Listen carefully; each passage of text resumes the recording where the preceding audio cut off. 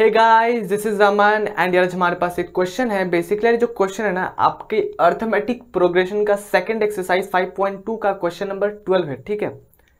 बस थोड़ा इस क्वेश्चन थोड़ा सा लेंदी है, बस बाकी और कोई क्वेश्चन में है नहीं। चलो करते हैं क्वेश्चन क्वेश्चन बोलिए रहा है टू एपी आपके पास कितना एपी है भाई साहब? दो एपी है, ठीक है। Two APs have the same common difference दो एपी है, दोनों का कॉमन डिफरेंस डी क्या है आपका? सेम है. क्या है? डी आपका क्या है? सेम है. बहुत बढ़िया. डी आपका सेम है. बहुत ही बढ़िया.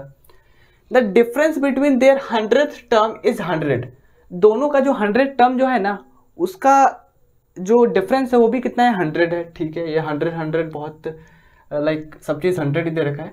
What is the difference between their thousand term तो बेसिकली यार एक बात बताओ, हमारे क्वेश्चन में दे रखा है कि हंड्रेड टर्म का जो डिफरेंस है वो हंड्रेड है.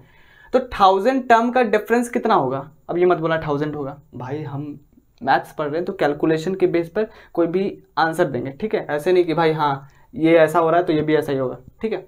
तो हमें थोड़ा सा कैलकुलेशन करना पड़ेगा। चलो करते हैं। एक बात बताओ, हमारे पास दो एपी है ना, ठीक है? कॉमन डिफरेंस सेम है। एक बात करते हैं। हम थोड़ा सा देखो, हम यहाँ हमारे पास दो एपी दे रखा है। तो अगर हम दोनों एपी को अगर सेम टर्म से अगर डिनोट करेंगे तो हम ही आगे जाके कंफ्यूज करेंगे। तो मैं यहाँ पे क्या करूँगा ना दोनों एपी को थोड़ा सा अलग अलग लाइक ए एक एपी को मैं ए ए से मान लूँगा और दूसरे एपी को बी से यूज़ करूँगा। देखो क्या मैं बोल रहा हूँ, आपको समझ आएगा।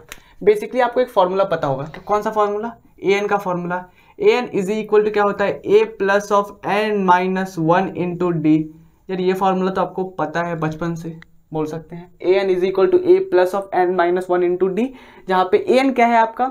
लास्ट टर्म ए क्या है? फ़र्स्ट टर्म एन क्या है? नंबर ऑफ़ टर्म और डी क्या है? कॉमन डिफरेंस, जो कि इस क्वेश्चन में दे रखा है कि वो भाई साहब वो सेम है, ठीक है? बहुत बढ़िया, सेम दे रखा है। हम्म। बोल रखा है कि जो हंड्रेड टर्म का जो डिफरेंस है वो हंड्रेड है, वो भी आगे करते हैं, बट अभी जो दे रखा है वो करते हैं। चलो, पहले हमारे पास जो क्वेश्चन में दे रखा है, हम क्या करते हैं ना कि हम इस फॉर्मूला को यूज़ करेंगे, a plus of n minus one into d.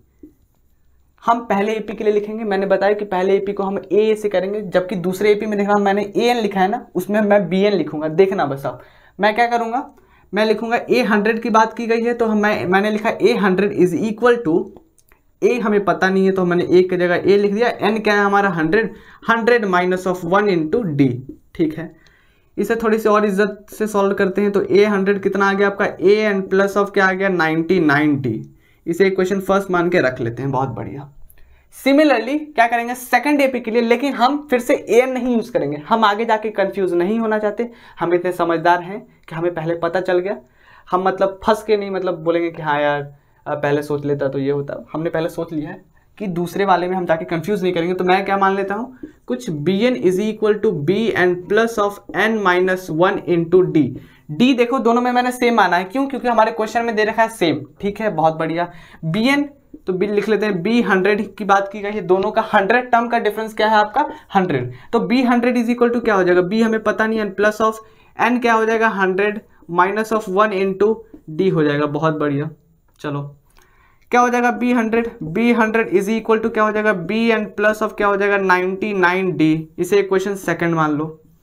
एक बात बताओ, हमारे क्वेश्चन में क्या दे रखा है कि the difference between the their hundred term is hundred दोनों जो, देखो ये आपका कौन सा फ़र्स्ट एपी है, ये आपका कौन सा एपी है सेकंड एपी है, ठीक है? दोनों एपी का जो डिफरेंस है ना, किस, कौन से टर्म का हंड्रेड टर्म का जो डिफरेंस है, वो कितना है हंड्रेड है? तो क्या हम ऐसा लिख सकते हैं? हमारे क्वेश्चन में क्या गिवन है? गिवन है हमारे क्वेश्चन में कि जो ए हंड्रेड होगा माइनस बी हंड्रेड होगा, वो कितना होगा? हंड्रेड होगा। ये तो हमारे क्वेश्चन में दिया हुआ है, बिल्कुल दिया हुआ है, ठीक है। अब हमने अभी जस्ट ए हंड्रेड निकाला है बी हंड्रेड निकाला है, दोनों का वैल्यू पुट करते हैं, चलो करते हैं। तो लिख लेते हैं हम लोग a and plus of ninety nine d चलो लिख लो plus of ninety nine d minus of b and plus of ninety nine d is equal to क्या हो जाएगा? हंड्रेड हो जाएगा, बहुत बढ़िया। अब आप देख सकते हैं, ये लाइक ये तो गया पक्के से। इसीलिए तो डी दिया था ताकि एक वेरिएबल कम हो जाए आपका। 99 एक प्लस 99 डी एक minus ninety d gets cancel here तो आपका क्या मिला आपको? Finally a minus b is equal to क्या मिला? 100 मिला। ठीक है इक्वेशन थर्ड मानो और खुश रहो अभी। आगे देखते हैं। क्वेश्चन अब पूछ ये रखा है what is the difference between their hundred term ठीक है हंड्रेड टर्म की बात कर रखी है? तो अब हंड्रेड टर्म के बारे में भी थोड़ी बात कर लेते हैं। चलो हंड्रेड टर्म तो हम क्या करते हैं? ऐसा लिखते हैं एट थाउज़ेंड सॉरी थाउज़ेंड की बात की गई तो eight thousand minus of b thousand, ठीक है? B thousand is equal to क्या हो जाएगा?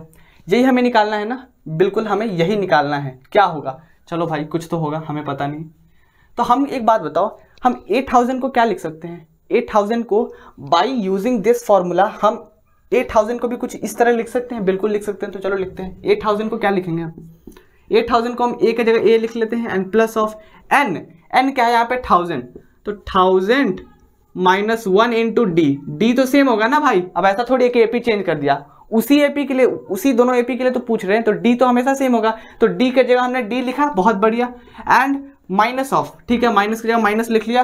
अब हमने सेकेंड एपी के लिए बी माना था वेरिएबल तो b okay and plus of hundred thousand sorry thousand minus one into d हो जाएगा। ठीक है, बहुत बढ़िया, ठीक है, बहुत बढ़िया।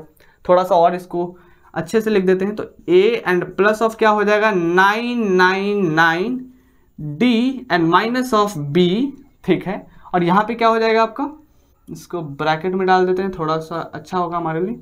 B and plus of nine nine nine d ठीक है? एक बात बताओ, ये plus nine nine nine d और minus nine nine nine d तो कैंसिल हो जाएगा, बहुत बढ़िया. ठीक है? बचा क्या आपके पास?